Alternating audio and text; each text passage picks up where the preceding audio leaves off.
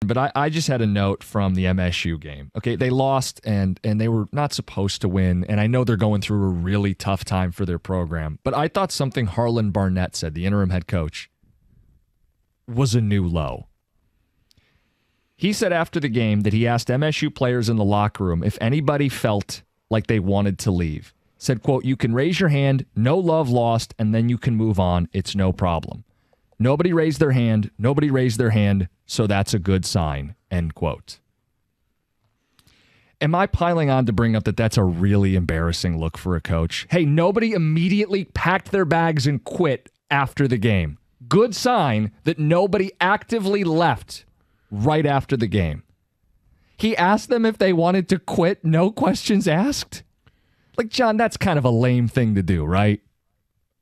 Well, I mean, Harlon Barnett is in as impossible a spot as you could be in as a head coach No or as an interim head coach. No disagreement.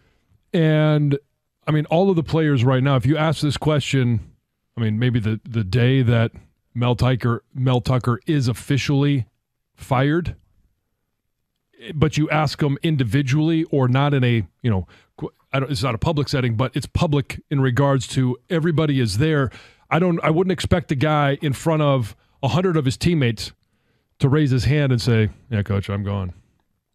Like it's it's going, it's not going to happen in the open. It's going to happen behind closed doors. Oh, guys will hit the portal, and I think one since has already since the end of that game. Guys are going to hit the portal. I don't know why he asked, but that's his business privately. I don't know why he then volunteered publicly. Hey, it's a good sign nobody quit right after the game. Like I don't know. Harlon, what, I don't on. know. So again, I, I don't know what the question was He that was asked volunteered of it him. though. No one asked. I mean, come. He volunteered. This that- was a statement. This that's the statement. You can raise. He said he asked MSU players in the locker room if anybody felt like they wanted to leave. You can raise your hand. No love lost, and you can move on. No one raised their hand. No one raised their hand. So that's a good sign. So, but, but my question is, did he come out in the? Po- I didn't see the post game press conference. Was this what he led with, or was this? I think a this was later in the of, conversation. hey, You know, hey, how are your players handling this? Have you heard from anybody that they want to leave? Well, you can make the comment that they didn't quit because I don't think they did. They did. They took Yeah. dumb penalties. They turned the ball over. They made mistakes, but I don't think his team quit. Right. That's fine. You can acknowledge your team didn't quit, but to say it's a good sign that nobody immediately raised their hand after the game to quit, boy, that's a low bar, dude. It's kind of an embarrassing thing to I don't want to say brag about, but to throw back out is a good sign. Again, Things have gotten things really have- bad. Things are really bad in East Lansing, and I feel bad for the kids. And I'm not going to, and I feel bad for Harlon Barnett. Like he's in a, an impossible situation.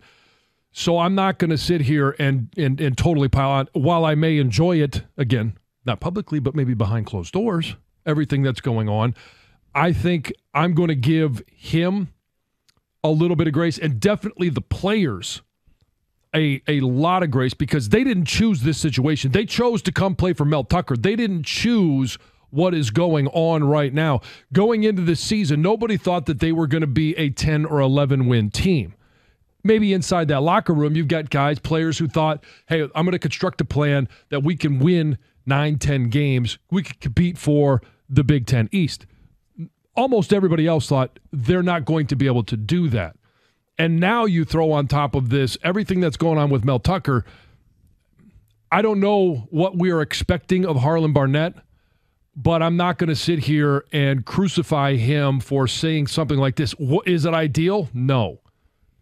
But I don't think it's a position that he ever thought he would be in as a coach. Yeah, I, and I think it's an impossible situation mm-hmm. for virtually every single person right now. I really do because it's there's no nobody's defending Mel Tucker. There's no other side No. of the story. Everybody sees the writing on the wall.